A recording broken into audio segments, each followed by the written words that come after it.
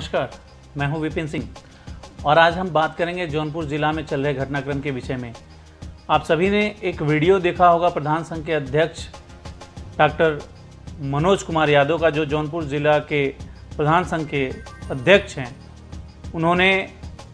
काफ़ी गंभीर आरोप लगाया है जौनपुर ज़िला के ज़िला अधिकारी दिनेश कुमार सिंह के ऊपर। उन्होंने आरोप लगाया है दिनेश कुमार सिंह जी के ऊपर कि वो प्रधान लोगों को गलत शब्दों के साथ उनको संबोधित करते हैं। उनका कहना है कि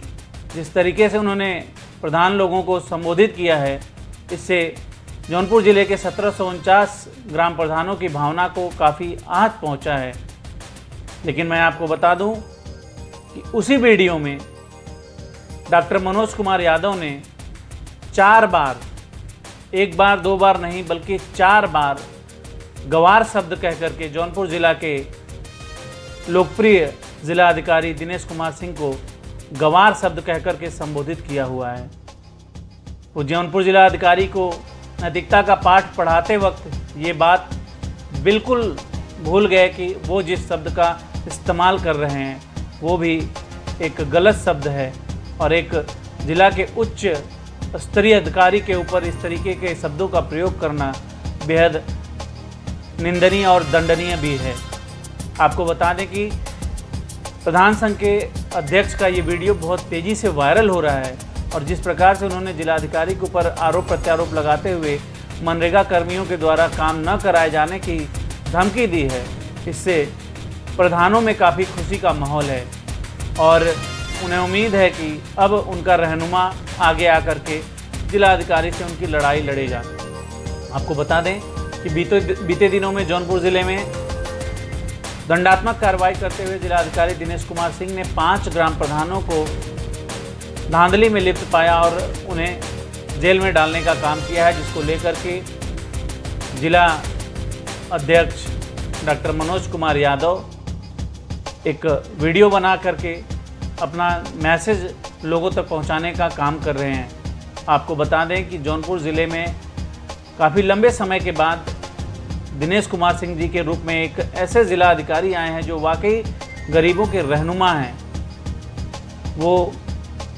सही मायने में देखा जाए तो उचित कार्रवाई करते हुए गरीबों को न्याय दिलाने का जब काम कर रहे हैं तो ऐसे में प्रधानों की भावना को आहत पहुँचना तो ज़ाहिर सी बात है।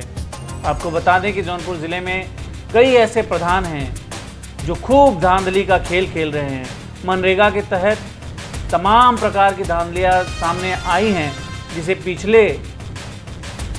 जिलाधिकारी महोदय ने अनदेखी किया और लंबे समय तक अपना समय यहाँ पर बिताया,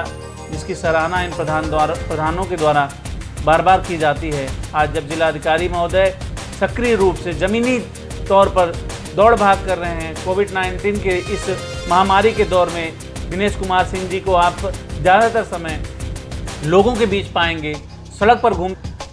प्रधान संघ के अध्यक्ष के द्वारा आरोप लगाया जाता है कि वो विपक्ष, जो प्रधान के विपक्ष होते हैं, उनके द्वारा किए गए षडयंत्रों का शिकार हो रहे हैं और उनकी बातों को सुनकर के प्रधान लोगों के ऊपर कार्रवाई कर रहे हैं। लेकिन आपको बता दें कि ज़िले के सत्रह सौ उनचास प्रधानों में कई ऐसे प्रधान हैं, जो खूब मनरेगा के नाम पर खुली छूट के साथ लूट और खसोट करने में लगे हैं। इसमें कोई भी संशय नहीं है। आपको बता दें, तालाब बता रहे हैं अध्यक्ष जी की 303 तालाब ज़िले में खुदाई के लिए बाकी पड़े हुए हैं, जो मनरेगा के द्वारा होना है और जिलाधिकारी के इस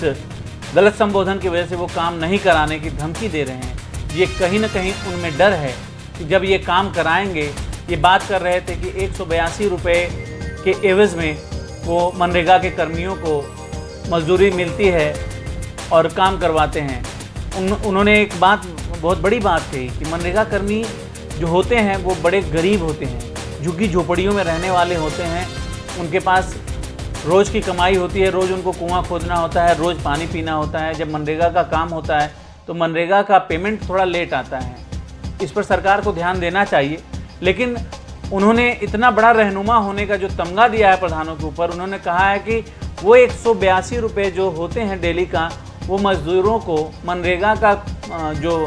भुगतान है उसके आए बिना, जो मनरेगा का पेमेंट बनता है मनरेगा मजदूरों का, वो खाते में नहीं आता। उससे पहले ये गरीबों के भगवान जो ग्राम प्रधान हैं, ये उनको पेमेंट कर देते हैं। ये उनको पेमेंट कर देते हैं और जब पेमेंट मनरेगा मजदूरों के खाते में आता है तो ये उनसे निकलवा करके ले लेते हैं, ऐसा ग्राम प्रधान अध्यक्ष का कहना है। लेकिन ज़मीनी हकीकत, जबकि इससे बिल्कुल उलट है। कई ग्राम प्रधान तो ऐसे हैं कि मनरेगा के नाम पर भुगतान ज़रूर करवाते हैं लेकिन टोटल मशीनों के द्वारा ग्राम सभाओं में कार्य किया जाता है। ऐसे आरोप तमाम प्रधानों के ऊपर लगे हैं, तमाम साक्ष्य हैं। बावजूद उसके भी उन पर कार्रवाई नहीं होती, कई मनरेगा मजदूरों ने भी आरोप लगाया है कि हमारे खाते में पैसा आता है और पैसा प्रधानों के द्वारा निकाल लिया जाता है। मजदूरी के रूप में उन्हें मात्र सौ, दो सौ रुपये दे करके बहका फुसला दिया जाता है और वो मारे डर के वो घर से बाहर निकल के उस पर कार्रवाई करने के लिए नहीं जाते हैं। जिससे दिनेश सिंह के रूप में जिला में जो ज़िले जिला अधिकारी आए हैं, उनके रूप में उन गरीब मजदूरों को एक आस जगी है कि उनको न्याय मिलेगा। इस न्याय की लड़ाई को जब वो अपने रहनुमा जिलाधिकारी के पास जाते हैं तो जिलाधिकारी उस पर विचार करते हुए ज़रूर दंडवात्मक कार्रवाई करते हैं, जिससे घबराए हुए ग्राम प्रधान, जौनपुर ज़िले के खास करके ग्राम प्रधान, इस पर घबराए हुए हैं और मनरेगा के मत से काम न कराने की धमकी दे रहे हैं। आपको बता दें कि इन ग्राम प्रधानों के बीते तीन से चार साल के जो काम हैं, इसकी पूरी पूरी कार जाँच होनी चाहिए। आखिर इन्होंने जब आज ये मजदूरी मनरेगा के द्वारा, इस महामारी के दौर में मनरेगा के द्वारा ये मजदूरी नहीं कराने को तैयार है, क्योंकि इनको डर है कि ऐसे में अगर किसी ने भी एक सूचना लगा दी तो ज़िले में ऐसे जिला, ऐसा जिला अधिकारी मौजूद है कि इन पर तुरंत कार्रवाई हो जाएगी और इनको जेल जाना पड़ेगा। इससे मंत्री जी, जब आपसे प्रेस कॉन्फ्रेंस करते हैं या जब बात करते हैं तो आपको मुखिया जी कहते हैं। आपको मुखिया जी तो ज़िले भर के लोग कहते हैं, आपके जो जनता जनार्दन है, वो भी आपको प्रधान जी कहकर संबोधित करती है। लेकिन जब उसी प्रधान सेवक की बातों को आपको सुनना होता है, जब उसी प्रधान सेवक के सपनों को साकार करना होता है तो आप उस सपनों के साकार करने के नाम पर गंदा खेल खेलते हैं। चाहे वो शौचालय हो चाहे वो अगर आज आज की स्थिति में मैं बता रहा हूँ कि अगर सभी ग्राम सभाओं के शौचालयों का केवल जाँच कर लिया जाए तो कई ऐसे ग्राम प्रधान होंगे जो जेल में होंगे। कई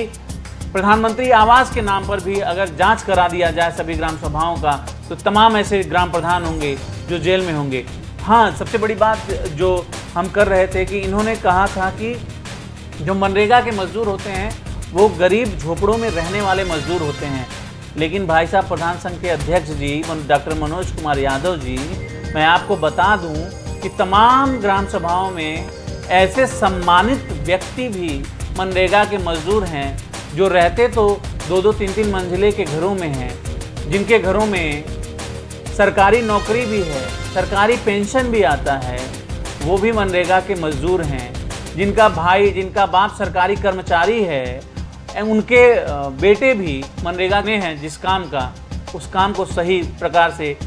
निर्वाहित करें, उसका क्रियान्वय करें, ताकि गरीब जनता और गरीब मजदूरों को उनका हक मिले। राशन कार्ड की बात बता दें तो ग्राम सभाओं में तमाम ऐसे लोग गरीबी रेखा के नीचे जीवन यापन करते हैं, जिनके घरों में चार पहिया है, बुलेट है, ट्रैक्टर है दो दो मंजिला घर है, सरकारी पेंशन है, बावजूद वो भी सरकारी राशन उठाते हैं।